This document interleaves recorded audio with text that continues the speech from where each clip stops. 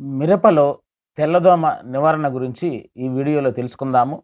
తెల్లదోమ పిల్ల మరియు పెద్ద పురుగులు రెండూ కూడా ఆకుల అడుగు భాగం నుండి మరియు లేత చిగురుల నుండి రసం పీల్చడం జరుగుతుంది. బెట్ట పరిస్థితులు మరియు పొడి వాతావరణం ఎక్కువగా ఉన్నప్పుడు ఈ తెల్లదోమ యొక్క ఉధృతి ఎక్కువగా కనిపిస్తుంది. ఈ తెల్లదోమలు ఆకుల నుండి రసం పీల్చడం వలన ఆకుల మీద పసుపు రంగు మరియు ఆకుపచ్చతో కూడినటువంటి మచ్చలు ఏర్పడతాయి. ఆ ఆకులు మృదుత్వాన్ని కోల్పోయి గట్టిగా తయారవుతాయి. చివరకు ఆకులు రాలిపోవటం జరుగుతుంది. ఈ తెల్లదోమలు ఆకుల మీద తేనె వంటి జిగట పదార్థంను వదులుతాయి. ఈ జిగట పదార్థం మీద నల్లని బూజు ఏర్పడటం జరుగుతుంది. ఈ తెల్లదోమ జెమిని అనేటువంటి వైరస్ను ఒక మొక్క నుండి వేరొక మొక్కకు వ్యాపింపజేస్తుంది. అనగా జెమినీ వైరస్ సోకినటువంటి మొక్క నుండి ఈ తెల్లదోమలు రసం పీల్చి ఆరోగ్యంగా ఉన్నటువంటి మొక్క నుండి మరలా రసం పీల్చినట్లయితే ఆ వైరస్ తెగులు ఈ ఆరోగ్యంగా ఉన్నటువంటి మొక్కకు సోకటం జరుగుతుంది. జెమినీ వైరస్ గురించి ఒక వీడియో చేయటం జరిగింది. ఆ వీడియోను చూసినట్లయితే మీకు జెమినీ వైరస్ గురించి పూర్తి అవగాహన రావటం జరుగుతుంది. యూట్యూబ్లో రైతుబడి అని టైప్ చేసి ప్లేలిస్టులోనికి వెళ్ళినట్లయితే నేను తయారు చేసిన వీడియోలు అన్నీ కూడా చూడవచ్చు. అవి ఒకసారి గమనించినట్లయితే మార్కెట్లో లభించే పురుగు మందుల గురించి వ్యవసాయ పరికరాల గురించి ప్రభుత్వ పథకాల గురించి కూరగాయలు మొక్కజొన్న పప్పుధాన్యాలు వరి పత్తి మిరప పంటలలో వచ్చేటువంటి పురుగులు తెగుళ్ళ నివారణ గురించి సేంద్రియ వ్యవసాయం గురించి వీడియోలు చేయటం జరుగుతుంది. కాబట్టి ఈ వీడియోలు అన్నీ రైతుబడి ప్లేలిస్ట్ ద్వారా చూడవచ్చు. నివారణ పద్ధతుల గురించి గమనించినట్లయితే ఈ తెల్లదోమల యొక్క ఉధృతిని అంచనా వేయుట కొరకు మరియు కొంతవరకు వాటిని నిలుపుదల చేయుట కొరకు ఇల్లో స్టిక్కీ ట్రాప్స్ను వాడుకోవచ్చు. అనగా పసుపు రంగు గమ్ముతో కూడినటువంటి అట్టలు. ఈ పసుపు రంగులో ఉన్నటువంటి అట్టలకు గమ్మును పూసి ఉంటుంది.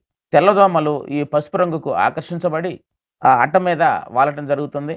ఆ పసుపు రంగులో ఉన్నటువంటి గమ్ము పూసి ఉన్నటువంటి అట్ట మీద వాలినప్పుడు వాటి రెక్కలు ఆ గమ్ముకు అంటుకొని ఆ తెల్లదోమ అక్కడ చిక్కుకుపోవడం జరుగుతుంది. ఈ విధంగా కొంతవరకు తెల్లదోమలను నివారించుకోవచ్చు. మరియు ఈ గమ్ముకు చిక్కుకున్నటువంటి దోమల సంఖ్య ఆధారంగా ఎంత ఉధృతి ఉన్నది అని ఒక అంచనా వేసుకొని దాని ప్రకారం కూడా మందులు పిచికారి ప్రణాళికను చేసుకోవచ్చు. ఇప్పుడు రసాయన మందుల గురించి మనం చూసినట్లయితే వేప నూనె ఐదు మిల్లీలీటర్లు ఒక లీటర్ నీటికి కలిపి పిచికారీ చేసుకోవాలి. దీనిని ఒక ఎకరాకు మనం గమనించినట్లయితే ఒక లీటర్ వేప నూనెను రెండు వందల లీటర్ల నీటిలో కలిపి ఒక ఎకరాకు పిచికారీ చేసుకోవాలి. ఇక్కడ రెండు వందల లీటర్ల నీటి పరిమాణం చేతి పంపు ఆధారముగా సిఫార్సు చేయడం జరిగింది. ఫెన్ప్రోపత్రిన్ ముప్పై శాతం ఈసీ అనేటువంటి మందు సున్నా పాయింట్ ఐదు మిల్లీ లీటర్లు ఒక లీటర్ నీటికి కలిపి పిచికారీ చేసుకోవాలి. ఒక ఎకరాకు గమనించినట్లయితే ఈ ఫెన్ప్రోపత్రిన్ ముప్పై శాతం ఈసీ అనేటువంటి మందు వంద మిల్లీ లీటర్లు ఒక ఎకరాకు పిచికారీ చేసుకోవాలి. పైరిప్రాక్సిఫెన్ పది శాతం ఈసీ అనేటువంటి మందు ఒక మిల్లీ లీటరు ఒక లీటర్ నీటికి కలిపి పిచికారీ చేసుకోవాలి. ఈ పైరిప్రాక్సిఫెన్ పది శాతం ఈసీ అనేటువంటి మందు ఒక ఎకరాకు గమనించినట్లయితే రెండు వందల మిల్లీ లీటర్లు ఒక ఎకరాకు రెండు వందల లీటర్ల నీటిలో కలిపి పిచికారీ చేసుకోవాలి.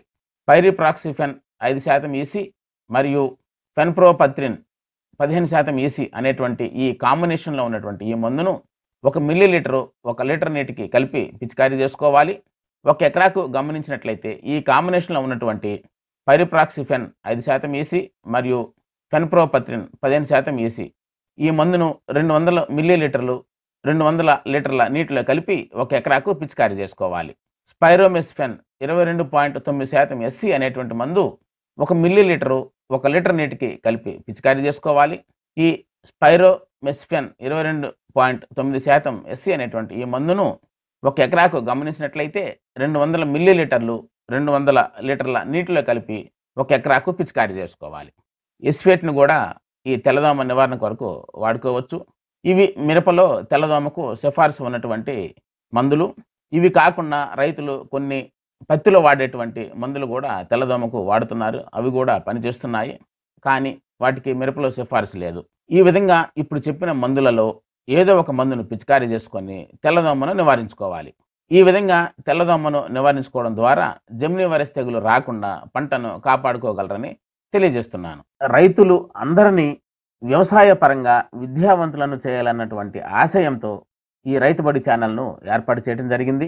ఈ ఆశయ సాధన కొరకు ఈ వీడియో చూస్తున్నటువంటి ప్రతి యువ రైతు కూడా మీ గ్రామంలో ఉన్నటువంటి వాట్సాప్ గ్రూపుల ద్వారాను ఫేస్బుక్ ద్వారాను ప్రతి రైతుకు కూడా ఈ రైతుబడి ఛానల్లో ఉన్నటువంటి వీడియోలు అందే విధంగా షేర్ చేయవలసినదిగా కోరుకుంటూ మీ రైతుబడి వెంకటేశ్వర్లు.